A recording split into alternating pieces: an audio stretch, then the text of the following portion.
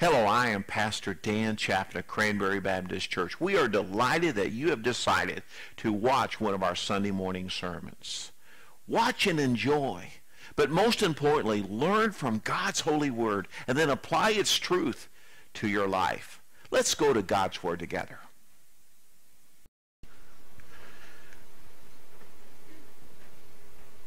What? Is the Great Commission all about? What is the n- main number one thing in the Great Commission? Someone answer. Make disciples, right? The number one thing that the church is to be about is making disciples. Amen? Whatever. All agree. What does that entail? I know Ken last week taught on the, the need for discipleship. Uh, and Ken, you'll have to you'll smile as I was uh, thinking up the title, and I love that word, the need for, and and I thought, oh, the need for discipleship went on there, and then that what you stole it from me, you know? no, I'm kidding, but um, the need for discipleship. But I want to talk to you today about disciple. What does that mean? And what does it look like? And I think you will be pleased. Whoops, I didn't mean to be going. The word disciple means a student, a learner, or a pupil. In the Bible, the word is used most often to refer to a follower of Jesus. In general, apostles refer to the small inner group of Jesus' followers. That would have been, of course, the original 12 and then the 11 after Judas messed up so bad. And then disciples refer to a larger group of Jesus followers, such as the women who stood at the Jesus cross and discovered the empty tomb. In other words, all the followers of, of Christ. And it has the idea or the thought that that not only are you a follower of that person, but you take his ways, his truths, and that you put that make you become like that person. And that is what it, it really really refers to in a verse in Acts 11, verses 25 and through 26, revival was beginning to break out in the city of Antioch.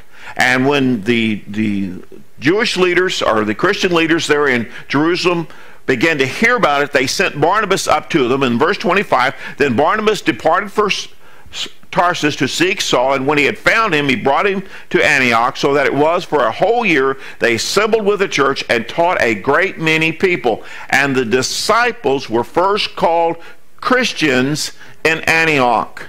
And before then, they were called believers, followers of the way. But the first time that the word Christian began to really be used, now who knows, someone may have said it, but as far as began to be referred to as the followers of Christ, as Christians happened at Antioch. And at first, and it really is almost a sense of a slave. And it was really a, a, as the town people began to call these, it was not a nice term. It was more of a derogatory term, but the disciples were so pleased that they would be called a follower of Christ. They began, it began to become a badge of honor for them to be a Christian. And what I want you to see with this verse is that the word disciples and the word Christians are used simultaneously. They are equal to. All Christians are to be disciples, and all Christians are to, uh, uh, all disciples are to be Christian. And that's what that passage is teaching us. A Christian is simply a follower of Christ, not just a learner as in disciples. And I've entitled this sermon, Ken, instead of the need for discipleship, Discipleship 101. Now, if you've ever been to school, yeah, especially college, you'll know that a 101 class is the very beginning, the very basic. And that's where I get the 101. But Discipleship 101, and I want to read to you Luke 14, 26 through 33, though I've left out some of those verses. Jesus is speaking and he says, If anyone comes to me and does not hate his father and mother, wife and children, brothers and sisters, yes, and even uh, and his own life also, he cannot be my disciple. And whosoever, uh, whoever does not bear his cross and come after me cannot be my disciple. Then I've the, it goes. I've skipped several verses and it talked about counting the cost. But verse 33 is a kind of a capstone to this whole thought. So likewise, whoever of you does not forsake all that he forsake all that he has cannot be my disciple. Now I want to explain a little bit on that. I don't believe God wants us to hate anybody, much less our family. But our love for God is to be so great now, as you know, I love my sweet wife up here with, as humanly speaking, as much as I can. But I don't know that I've ever woke up, honey, at 3 a.m. and tried to read one of your love letters to me or any card that you sent. I just, I would probably wait till a little later in the morning to get up and, and read a love letter from you. But I get up to read God's Word. Because He is supreme. And that's what that word hate. Doesn't mean that we're to hate them literally, but that we're to love them. In fact, the Bible says that husbands love your wives as Christ loved the church. But where's God in your love life? What is where's the importance? And that's what Jesus is saying. This is not my words. These are Jesus' words. And then, yes, even your own life. And and, and then he says in verse 27, you who does not bear his cross? A cross is a place of death. And um, Dorothy shared in Sunday school, and she quoted one of my favorite verses, Galatians 2.20. I am crucified with Christ. Nevertheless I live, yet not I. And the life which I now live in the flesh, I live by the faith of the Son of God, who loved me and gave himself for me. And, and Jesus is teaching that here, that we have a, a cross, a purpose to live for, and that's to serve Him. And then the, the third part is that we've to forsake all. Now, I don't think God has a problem with us having a home or having a car or having more than two suits, uh, uh, sets of clothes in our closet. But where's our heart? Discipleship starts right here. This part of it, and when I say that, that's just we refer the heart as the seat of our emotions. But discipleship starts with a love for Christ and a love to follow him and to be obedient to his will. Amen? And that's that's the heart of Christianity. That's the heart of discipleship. If you don't start there, you'll miss the rest of it. And that to me, that if you this I could preach Stallone, but I felt like God wanted me to do something to use this as the springboard. There's so much there. And, it, and I don't know about you, but do you feel like that is a little bit overwhelming? Way beyond what you think you might be able to do? And for the average Christian, I think it is. But Jesus said, in other words, the whole context here is I want you to be my disciple. I want you to love me. I want you to follow me and take up your cross. And I want you to forsake all to follow me and be obedient to me. Is that not what that passage is teaching? And it is. Discipleship. 101. This is where it starts. There has to be something within your.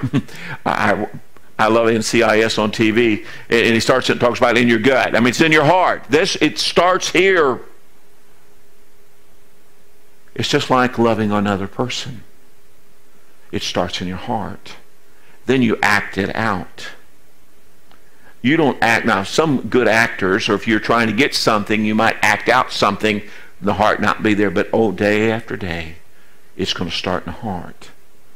Love comes from the heart a love for God and a love for others. I want to go on. I want you to open your Bibles to 2 Timothy chapter 1. We are going to spend quiet the rest of the service in 2 Timothy. And the reason I don't have anything else up there right now, while you're turning there, I want you to understand this is the Apostle Paul. He is writing a letter. This is his second letter to his son in the faith, and we'll get into that in a little bit. Um, and he is literally going to disciple him. We will see a beautiful picture, example of what discipleship is really all about. You will hear things and see things as I think as we, and it'll scare Randy to death. I'm going to try to cover about two chapters today, Randy. Randy likes it me take about three or four verses, and I, I, I want to get the, I want to get the overview. I want to see the magnitude of what discipleship, true discipleship is involved. So we're going to go quick because there's a lot here. But in 2 Timothy chapter 1, verse 1 and 2. Paul, an apostle of Jesus Christ, by the will of God, according to the promises of life, which is in Christ Jesus, to Timothy, a beloved son, grace, mercy, and peace from God the Father and Christ Jesus our Lord. Now I want to go to verse 2. First it says, To Timothy. Really effective discipleship is either individual one on one or one to a small group. I, I, think it's hard. I think if this church was filled, let's just say this church, I had 100 people filled, sitting here in the pews right here this morning, I believe it'd be very hard for me to disciple 100 people at one time. And that's my point. I think you have to be able to look people in the eye. You have to sense where they are. I know when we're doing our accountability groups, which is nothing but discipleship that I can see their eyes, they can see my eyes, they hear my heart, I hear their heart, and I can sense how God wants me to help them and encourage them, and I get to know them and them get to know me. And so it starts with a small group, our one on one. Then he says, A beloved son. I love people, you know that. I, am just, I, am a hugger. I, I love people. I just, it's like me falling off a log. It's just who I am. But let me tell you something. I first started with Steve and Randy, and now Jeremy and Ken. And after you've sat week after week praying for one another, encouraging one another, there's a love that develops. You see, he says, Beloved son, these are my beloved brothers. And as I pour my heart into them and I see God begin to grow them, wow, what a joy that brings to me, but it brings a joy to them because they are beginning to realize what God, this serving thing of, of God is. I don't believe a person can grow unless you really get that discipleship. Now, with that, with one exception, I believe with enough time that you can do it without someone, but it's a lot harder. And the reason I say that, I never had anybody disciple me. Never had anybody sit down with me one on one or in a small group and began to teach me. I just had to get in there and dig it out. And you know what? I made some mistakes. I bet some of you have too. But discipleship takes someone, hopefully in that that group, that's got a little more, a little further down the road spiritually. That's helping them to grow and, and, and kind of taking them by the hand and come on, let's go. And here's how we do it. Let's memorize this passage and do that. But Timothy, a beloved son. And the next, if you look at verse 5, then Paul says, I, when I call to remembrance the genuine faith that is in you. It starts with, you must be born again and you must have the Holy Spirit in you. It's the same, just saying it differently. For discipleship to take place, a person has to be saved. A person has to have the Holy Spirit in them. The Holy Spirit has to do the work. And all I am is just like right now, I'm teaching through the inspiration of the Holy Spirit, letting God work in me and through me and teaching you things. But if you're ever going to disciple somebody, that person has to be saved. Now that may sound like kind of trite, but it has to be said. Verse 8. And the next thing that Paul goes to, and again, I'm just going to verse, and I'm not looking at every verse. But I, I, want you to understand, Paul is teaching this beloved son in the faith a, what it means to be discipled. And one of the things, first, you need to be saved. Secondly, do not be ashamed of the testimony of our Lord, nor me of his prisoner, but share with me in the sufferings for the gospel according to the power of God. The, my point here is don't be ashamed of who you are in Christ. You say, well, Dan, I know that. Well, let me let's put let's put shoes on that or feet to the ground on that. What if someone says, I don't I think Christians are a bunch of junk. I don't believe all that stuff. What are you going to do? I'll tell you what I'll do. I'll stand up and tell them about my Lord Jesus Christ. I'm going to tell them about the God in heaven, my Creator that loved me and gave His life on the cross of Calvary for me. I'm not going to be ashamed. And the world is in need of people that will stand up and say, I am a Christian. I am a follower of Christ. And I'll die for it. Discipleship. True followers of Christ will stand up and be a witness. I think every missionary that's ever went on every foreign mission field, especially the, the jungle type, a lot of them have given their lives for the name of Christ. They had rather died than deny Christ. Paul dies later for the name of Christ. Discipleship is learning to deny self and not being ashamed. Listen, get excited about this one that lives within you. Get excited about the joy of Christ and the power of Christ. Now, I, I, have said this before, but I feel like I need to say it again. The great um, leader of India of many years ago was Gandhi. And he studied all the religions of the world. And he said, Christianity has the greatest of all the teachings. But it cannot be true because I do not see it in, his, in the followers of Christ. If Christians will stand up and let this be their rule book and let this tell them what is right and wrong and live according to this, be a disciple, we can change the world.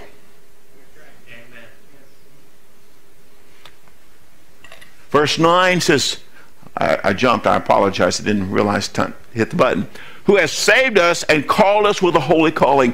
Do you realize that when that day came and God the Holy Spirit dealt with your heart about the sin in your life and your need to be saved, God was calling you with a holy calling, bringing you to, to be born again, to bringing you into the family of God. That was an act of God because He has a purpose for you. He has a plan for you, and He wants you to live the Christian discipled life.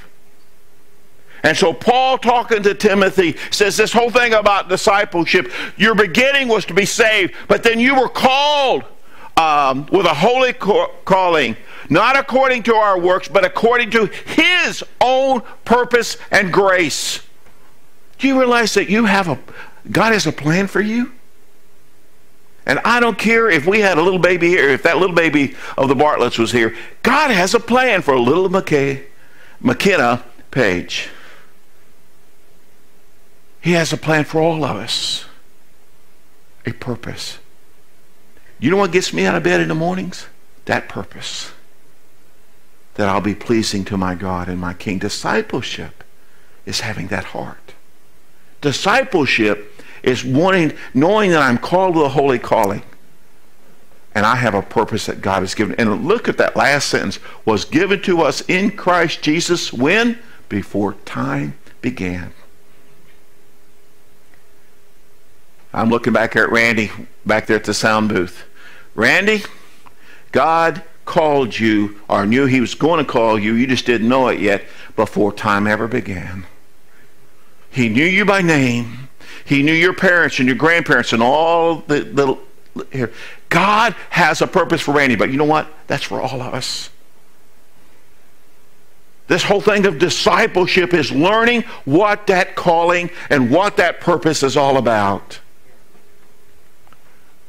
Verse 13, hold fast the pattern of sound words which you have heard from me in faith and love which are in Christ Jesus. And the words hold fast, it means to grip, to grasp, and hold on. There's a commercial on about uh, it's a uh, one of these big ships, uh, cruise ships out in the, and Joanne doesn't like heights and she doesn't like uh, carnival rides and that kind of thing. And it's got this lady doing the zip line, you know, where you hang from this one thing and she's going. I said, Joe, would you like to do that? Of course, knowing good and well she would hate that. You'd have to strap her in, have her chained down, and she would hate you all the way across that thing. I promise you. She'd probably never speak to you again because she would be so afraid. But I guarantee you, if, if if that you did get her on it and it went across there, she would be holding fast to that rope or chain or whatever. Now you're buckled in and you can't fall, but hold fast. hold fast. Hold fast. And by the way, it's an imperative verb. It's a command. Hold fast to what? The pattern of sound words, which is simply another way of saying the Word of God. Those that what is the right teachings. Do you realize that we live in a land there's a lot of false teaching around? And if you don't know the truth, you're going to hold fast to the unsound words. We need to make sure we know who's who's teaching us, and that's what it says. You have heard of me. And that's the reason I underlined that. We're going to touch on that again a little bit later. But Paul is warning Timothy and his discipling him to, to hold fast the, my teachings as I want to see you grow. Why? Because I love you and I care about you. You have a purpose, a plan. Verse 14, that good thing which was committed to you, keep by the Holy Spirit who dwells in us. I am so glad it's not me so much holding fast. It is the Holy Spirit of God in me, and as I'm allowing the Holy Spirit work in me and then through me, it's Him that gives me the strength to hold. I don't know about you, but I've I've done quite a bit of work and lifting things and everything and, and doing some even mechanic. I don't know, but I have been underneath the car, and I hate this, but I can do it uh, if you ever pulled a now, ladies, I'm not talking to you so much, but guys, you ever pulled a transmission out of a car? I tell you what you're doing now. If you don't have the jacks like the mechanic shops do, what that literally means is you get you you get to slide it up, and it's almost resting on your chest, and you got to push that rascal up, and then you got to get the pins to slip in there just right. You've got a bolt, a nut, I mean, to, to, that's sticking through it, and you finally get that and you, you hold it with one hand, you finally get one nut. the Holy Spirit. I get fatigued when I do that. I have actually had to just set it back down on my chest for a few minutes and get my arms untingling. But it's the Holy Spirit in me. It's the Holy Spirit in me that gives me the strength that dwells in me to the, that was committed to me. Not speaking of salvation. Then, chapter 2, verse 1 You therefore, my son, be strong in the grace. if I tried to do 10 push ups in front of you right now, I would be in a world of hurt. But I can remember a day I could give, show you 50. That was in the days of the Army, many years ago. But I could do 50 push ups. Now, some of you may be able to do 50 still yet. Um, but strength comes from use.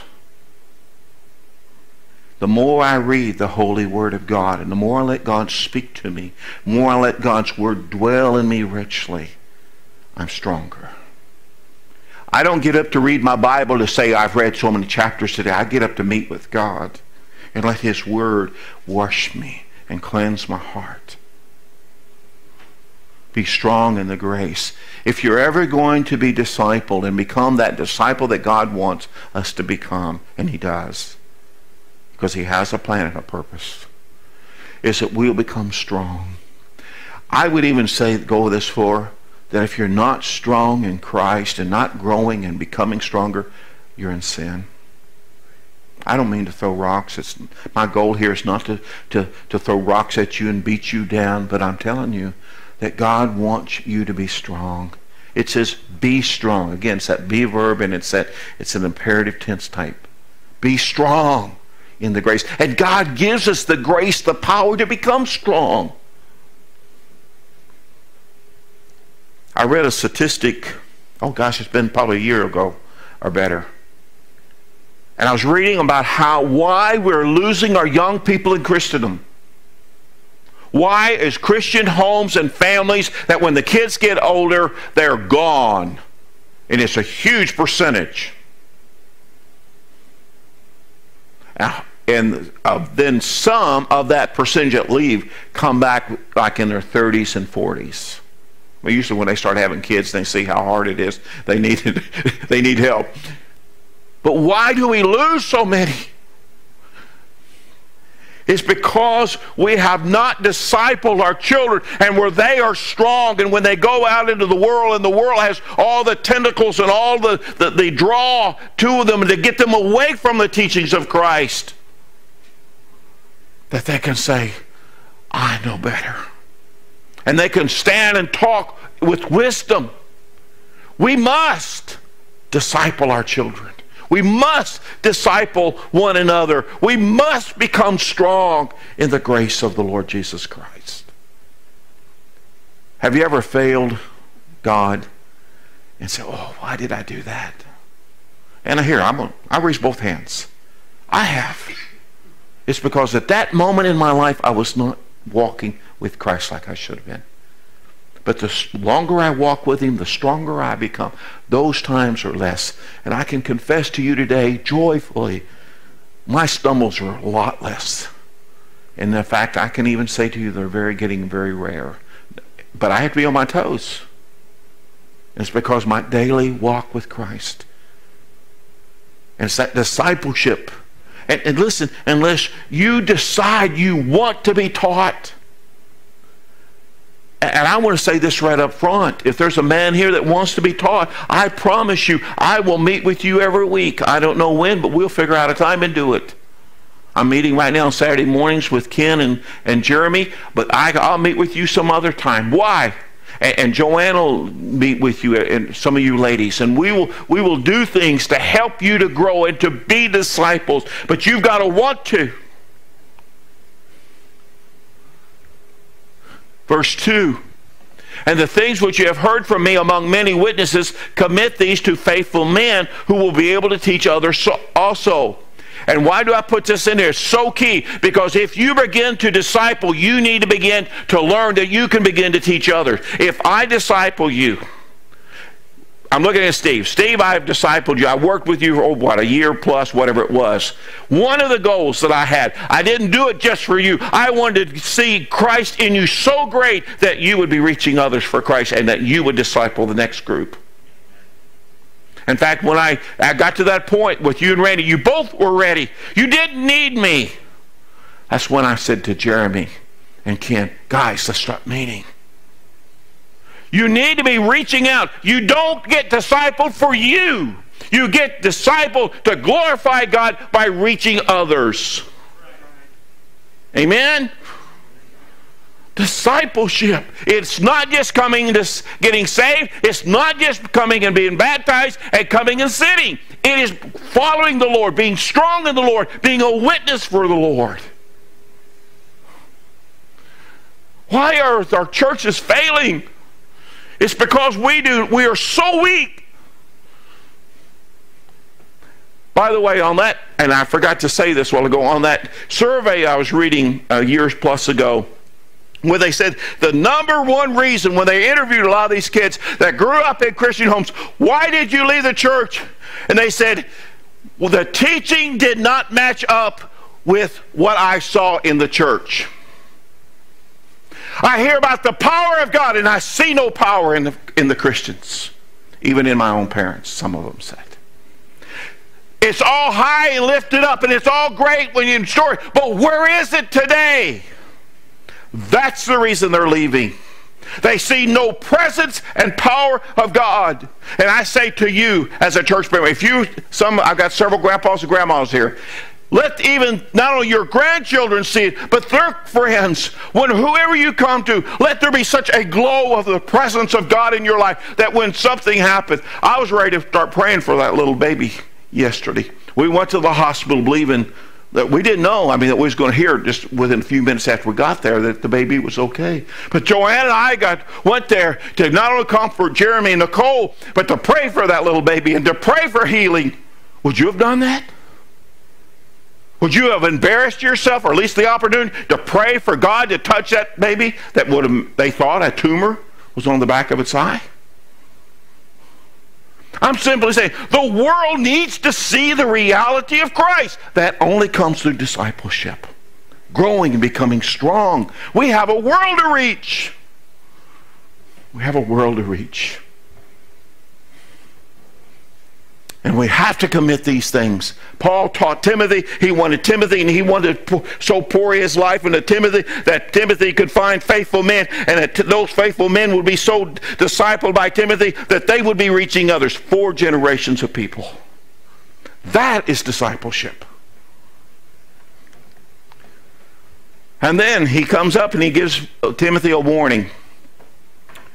You therefore must endure hardship. That's in the Word of God, people. That's right out. The reason I want you to open your Bibles today is I want you to see it in black and white. You therefore must endure hardships.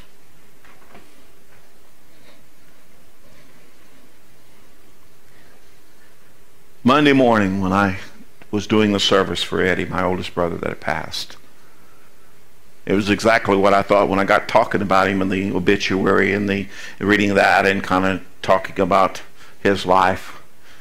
I stood and wept before everybody. I couldn't. I had to just stop talking, get control, and try to talk a little bit more. and then I had to do it all over again a couple times.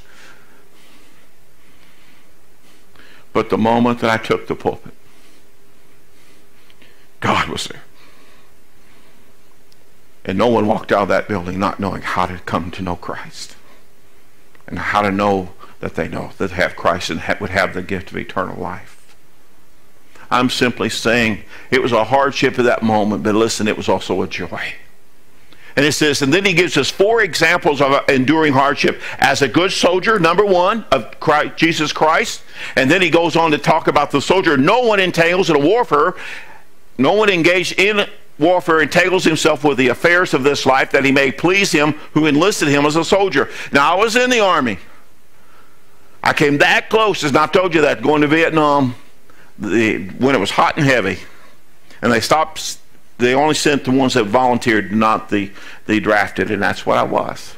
But I would have went, and I would have done a good job.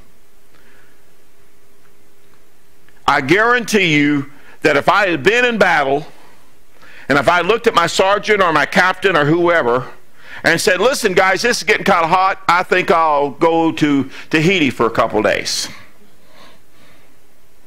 Or I, I need to go home and build a house, or whatever it is. The biggest reason that most Christians are not allowing themselves to be disciple is this they're too busy with life to serve God. It's just the way it is. We, we get so busy. When you look at your schedule, listen, when you, you, you need to write down on your calendar every day, put God in there somewhere. Now, for me, it's first thing in the morning. I don't have it on my calendar, it's just there. It's right here and right here. We have to make time. We cannot be so caught up into this life that we forget what we need to be doing for Christ. Verse 5, and also competes in athletics. He is not crowned unless he competes according to the rules. I promise you, the best runner, if he cuts short and has less room to run, even though he may finish the, get across the finish line first, he's disqualified. The man that wins the race is the man that does it according to the rules, and being first. And then the last one is a hard-working farmer must be first to be must be first to partake of the crops. Uh, I didn't have a big farm. Joanne grew up on a farm. I think it was 160 acres, and she she knows what that is. But I do remember a lot of days, all long days, um, cutting weeds out of fields, um, feeding hogs, milking cows. I mean, I, I really grew up on a small farm, and we had it all. That is hard labor. I know one time, one summer, I worked, helped a man put up hay. We put it, we baled, we put up hay in the, the hay loft in the cool of the morning, 300 bales, him and I, and then in the evening we would bale three more hundred bales to put up the next morning, and that was all summer long, lifting heavy bales of um, of hay. Hardworking farmer. Verse three. Are you willing to endure hardships? You know what? I don't know about you, but I found life gives us hardships regardless.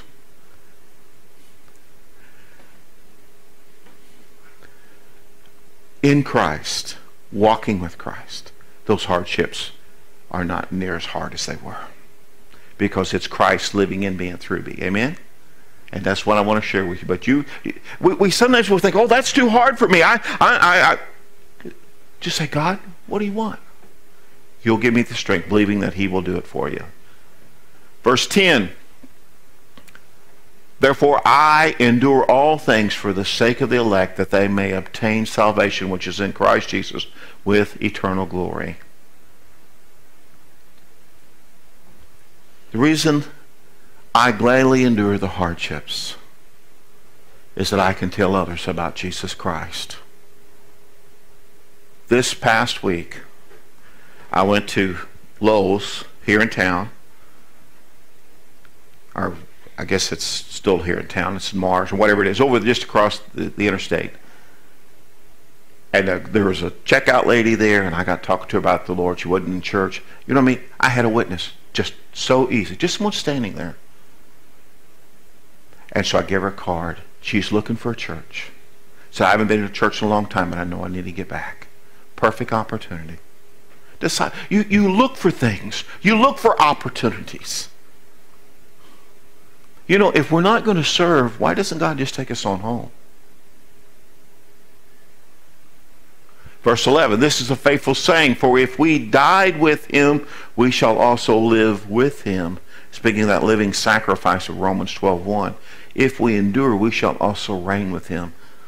Someday, someday I will stand before my God. And I believe this. As long as I stay on the path I'm on, I believe this. I'm going to hear Jesus says, Well done, good and faithful servant. Enter to the joy of the Lord. Do you want that? Now, see, we all want that. But are you willing to be discipled and stop living for yourself and living for Him? Just about done. Remind them of these things, charging them before the Lord, not to strive about words of no profit to the ruin of hear hearers, and I'll come back to verse 15, that's next. But shun profane and idle babblings, for they will increase to more ungodliness, and their message will spread like cancer. As many times I read the scripture, I don't guess I've ever seen that, using cancer as an illustration. But anyway, sometimes people want to get in arguing of the little stuff. You know, I believe that baptism should be for believers only. I'll die on that one. And I believe that baptism should be by immersion. But if, if I can have good fellowship with a Methodist or Presbyterian that sprinkles their babies, I really can. Because, and so let's don't get so caught up in the, the, the little the issues of life. Verse 15 that, that I skipped, it says this, it's like another thought within those thoughts. Be diligent to present yourself approved to God, a worker who does not need to be ashamed, rightly dividing the word of truth. You've got to know the word. You've got to know the word. I read this Bible because I want to hear from God. This, I've read a lot of books in my life. My goodness, I've got 142 college hours and 96 graduate hours. I've read a lot of books. Not counting all the books I've read in the ministry since 1970 or 76. This is the only one I come back to. This is God speaking. This is God speaking to Dan Chaffin. And I want so much, God, what do you want to do with my life? Where, what do you want me to do? What is my purpose? How do I live it? What is about this? What about that? And letting God's word teach me. Verse 19, I'm going to quickly get through this. The main part is what I've got it underlined. Verse um, 19, let everyone who names the name of Christ depart from iniquity. Until Christian, part of discipleship is staying away from sin. If, if, if I'm working with someone that's has an alcohol problem, let's say, then I'm going to tell that person to stay out of the bars. Don't go, don't go running with your buddies that are drinkers. I mean, if you want to grab a lunch at a, at a diner where there's no alcohol, that's fine. But don't run with people that are where your weakness is. If a man has a is is is having a problem with with today society pornography, then you need to be very careful what you click on This morning at church, I went on and checked the emails of our church here, and there was one of those letters that says, click on and hear my private message. And it had, you could tell by the way it was, it was pictures. I mean, I had right here in an office at the church, could have clicked on one click, looked at pornography. It's that easy. That makes me mad, by the way. I think it, you'd have to pay somebody to even look at a lot of that stuff. That you know, you where little kids can't get into it. Let everyone who names the name depart from iniquity. Their house discipleship starts with a hate or desire to hate sin and a hatred towards that which is pulling me back towards the things that are not according to God's purpose in my life. Then it says, therefore, if anyone cleanses himself from the latter, talking about uh, being uh, things that are, are, temporary, he will be a vessel for honor, sanctified and useful for the master, prepared for every good work. If we realize, if we hate sin, we need to get cleaned before him and stay that way. Two, two quick thoughts. Flee from youthful lust. And then what, here's a don't, but then what, then the do is but pursue righteousness, faith, love, peace with those who call on the Lord out of a pure heart. You see, when you hunger for God's righteousness in your life, when you hunger for, for walking in faith and being strong in Christ, when you walk in loving others and caring about others and where, where they are in life, and then caring about having God's peace in your heart and not so much troubled and, and anxious all the time, you're there. But you have to pursue it. You have to want it. You have to long for it. Um, that a servant of the Lord must not quarrel. And I have underlined several things here we're going to quickly, because as a servant of Christ, I'm not to quarrel. I'm to be gentle. I'm to be able to teach others. And I can't teach if I don't know it. I'm to be patient in humility, correcting those who are in opposition. And then I put the word why in. Why? Giving you tell you why you need to not be quarrelsome and you need to be gentle and all that. If God perhaps will grant them repentance so that they may know the truth and that they may come to their senses and escape the snare of the devil, having been taken captive by him to do his will. The world is looking for someone to say, I found the way of peace and joy and the gift of eternal life. Come with me. I will show you. I will teach you. The, the world, usually it's when they've just struggled and struggled and struggled with sin in their life, and they finally come up, I don't want to live this way. Someone help me.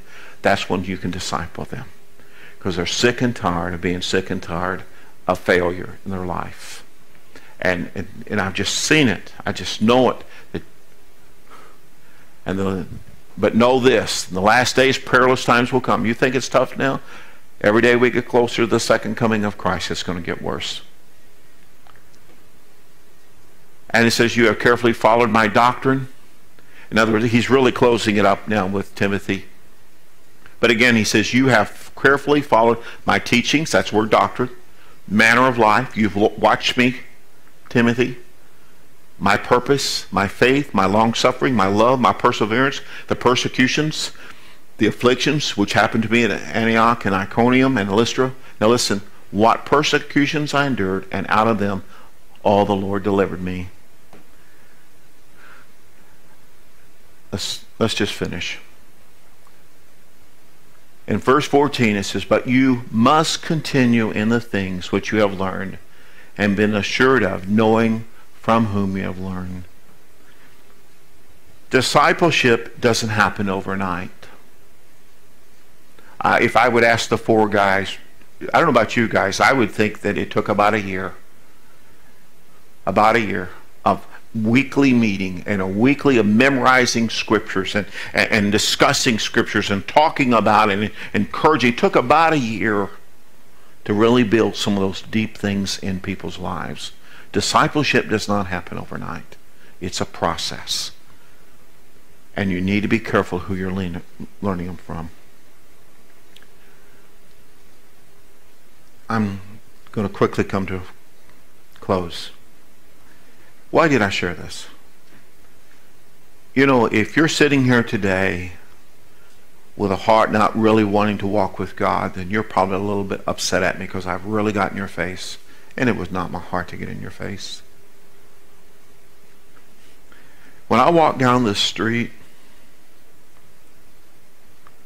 if you think it, statistically, just in the greater Pittsburgh area, I've, I've heard and read different percentages, but I think it's fair to say less than 10% of Christ, people living in the greater Pittsburgh area is evangelical, which really preach Christ crucified, and it must put your faith and trust. It teaches must you must be born again. That if that percentage is true, we'll just say that. That means only 10 out of every 100 people you meet is probably a Christian. Think about that. Now, if that percentage is true, now what am I saying? Discipleship is not for you so much, other than the preparation to be what you want to be, need to become, but it's to go out to the harvest. It's having a harvest. I can't, you don't can't see it because of my long sleeve shirt, but I, and most I've shared this with you before. Every time I see that little rubber bracelet, and I, by the way, I don't like it in the sense I don't, I'm not that kind of, I don't like these kinds of things. But I wish you would know how many times I've prayed for the lost people of the world every time I see that. It helps keep in my mind there's a harvest. There's people going to hell every moment of every day. People are dying without Christ. And who's going to tell them? It'll only be those that have, that have grown and learned and become what God wants. That's discipleship. That's the reason Jesus said, make disciples, church. Yes, teach them. Yes, baptizing the name of the Father, name of uh, the, God the Father, the Son, and the Holy Spirit. Yes, we need to do those things, but you've got to bring them to Christ, and then you've got to spend time bringing them to a greater depth of learning that they may go reach out. Now, I am not going to say how, ask how old everybody is here, but I know one thing. Every year I get older, Zines, a little less time, I'm going to have to work the harvest. I grew up enough with farming to know this. If you, you plowed the fields and you disc the fields and you, you planted the seed and then you prayed for rain and, and, and, and watched it grow, but you didn't leave it in the field. You went and harvested it. And God says, Pray to the Lord of the harvest to send forth laborers into my field. Who's going to be the better laborers? Those that have been trained to know how to go out. That is discipleship. And one of the things I have come to decide, and I pray that you have the same heart that I do, but we are, as Cranberry Baptist Church, going to become a discipling type church. We are not going to let the, the, the, fields go wide into harvest around us without us trying to do everything we can to reach the harvest. Because it is the harvest that Jesus died. It is the harvest. That's what this is all about. It's not whether I'm happy or whether I have hardships. It's whether I am out in the fields working to see more people come to Christ and then grow them and teach them and get a bigger army. Amen? That is my heart. That is how that is what gets me up in the morning anymore. It's not to just have church. Church appears three times in the Gospels, the word church. Only three. And two of them talks about church discipline and I forget now, but it's like 300, 400 times the, the words kingdom of God, the kingdom of, of Christ, those kinds of things. It, it's hundreds of times. We need to be concerned about the kingdom, bringing people to Christ. That is the heart of Christianity. It is the heart of discipleship. Let's pray. Father, it's a hard message. A very hard message. Because it said, I must die to myself and my wants to become what you want me to become, that I can be a harvester, that I can be, that my life will count when the counting's done. Lord, it's I'm not going to really give an invitation. But I want you to speak to every heart that is here. That each and every one of us would ask, what am I doing for the kingdom? And what can I do to better prepare myself to bring more people to the harvest? Some, it's kind of late in the day for them. But Lord, you they can become great prayer warriors. Father, they can be the ones that just really, really pray. Where they're crying out day and night for the souls of men to be saved. And boys and girls and grandpas and grandmas. Father, then they can do some of the things, Lord, they can't get out and walk up and down the streets and up and down steps like they once could have. But Father, they can pray. Father, for the younger group that still have our strength, Father, use us. Show us how you want us to be used in the harvest. In discipling other workers. And Lord, help us to raise our young in a ways that they have a heart to serve you, that they will have a purpose,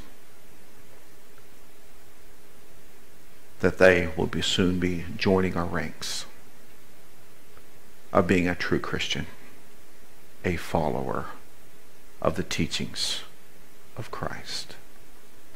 Lord, let us let this message burn in our hearts. And I pray, oh God, I pray that we'll take it and make it a part of our lives. In your holy name I pray. Amen. Thank you for listening to one of our sermons today. We pray that it was a blessing at a time of learning. If we can ever be of service to you or you would like to know more about us, please check out our website at cranberrybaptist.org. May God richly bless you.